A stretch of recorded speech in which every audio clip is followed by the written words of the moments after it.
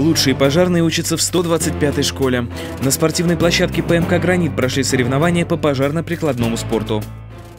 Необычное первенство районный пожарно-спасательный отряд проводит уже в шестой раз. Ученики восьмых-десятых классов одевали форму, развертывали рукав и тушили настоящий огонь. И все на скорость. С каждым годом интерес к соревнованиям растет. В этот раз почувствовать себя профессиональным пожарным пришли команды семи школ района. Для меня самым сложным было это, наверное, пробежать в боевке по э, закопанным колесам. Потому что боевка, она неудобная, большая. А вот. тушить, одеваться было как? Тушить, одеваться нормально, тушить легко. Городская среда, она является для маленького человека наиболее опасной. И для того, чтобы он мог правильно действовать, в общем-то, и необходима вот эта работа по э, укреплению практических навыков, которые дети получают и закрепляют на таких соревнованиях.